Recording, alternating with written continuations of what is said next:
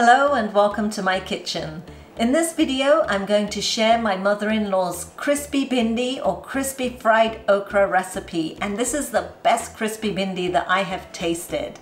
It's a very, very simple recipe and it's amazing and so easy to make. So let's get cooking.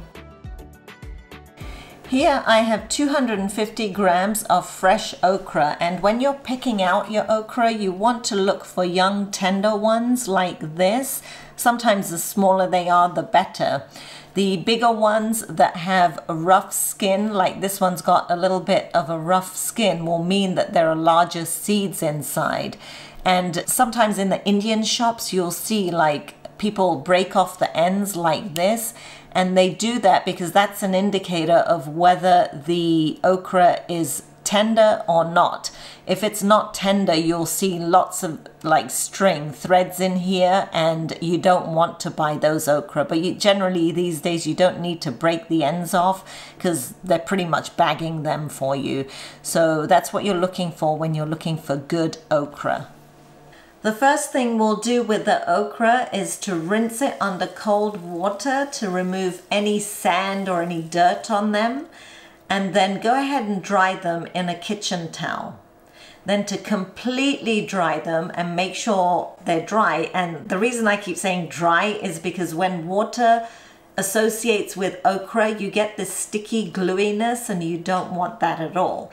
So we're gonna lay it out on some newspaper and let it sit there so all the water evaporates and they're completely dry. Once the okra is completely dry, we want to slice them up into thin strips like this.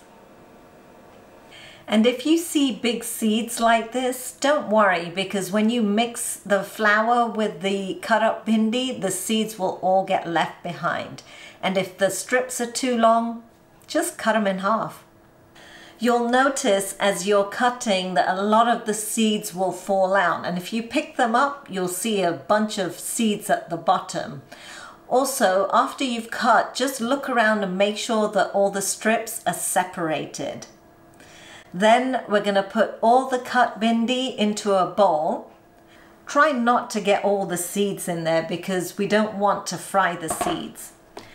Then we're going to add some corn flour to this. So this is that white thickening corn flour and we're going to add three to four tablespoons of this. Just sprinkle it on and we just want to coat the bhindi so I'm going to add about four tablespoons, which is about a quarter of a cup. And I'll be adding about a teaspoon of salt. So this is just less than a teaspoon. And if after tasting it, we find there's not enough salt, we can always sprinkle it on top. And we're just going to mix that together. Just very lightly. Then we're just going to sprinkle some lemon juice on this. I have a half a fresh lemon in here. And I've used almost all of it. There's still some more juice in here. And then mix it with your hands. And then it's ready to fry. Then I have my karai here, my little pan, and I've got some sunflower oil in here, and I'm going to heat up my pan so that my oil is nice and hot to make my bhindi really nice and crisp. And I'm also getting my plate ready with some newspaper and a paper towel so that I can remove the bhindi. Oh, my slotted spoon. Got to have a good handy slotted spoon too. Looks like my oil has heated up, so I'm going to throw some of these bhindi in there. Oh yeah.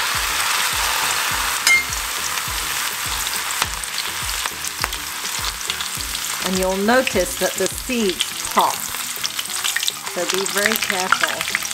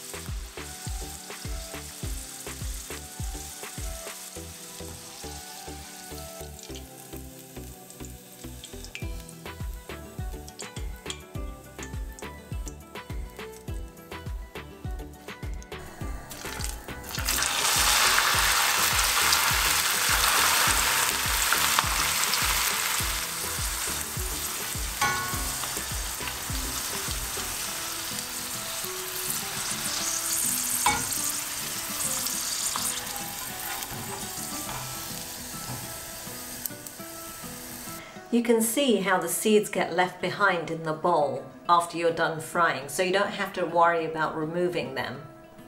So even if the okra sticks together while it's frying, it breaks apart fairly easily once it's done. So you can just gently separate them once they're done.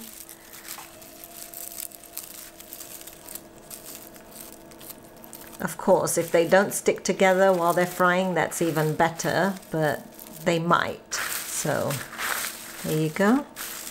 And then we're just going to sprinkle it with a little bit of red chili powder. And you can make it as hot as you like. And I'm going to add a pinch of chaat masala as well. You can add amchur powder or whatever you like on there but it is going to be sour because of the lemon juice and there is salt in there too so you don't need to add those two things unless you want it more sour and just give that a mix and your crispy bhindi is ready to eat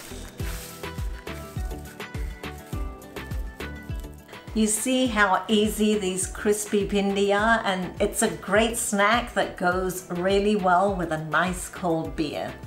I hope you guys enjoyed watching this video. Don't forget to give me a thumbs up and subscribe to my channel. And I'll see you all soon for some more cooking inspiration. Mmm, so crunchy. Where's my beer? Ginger beer.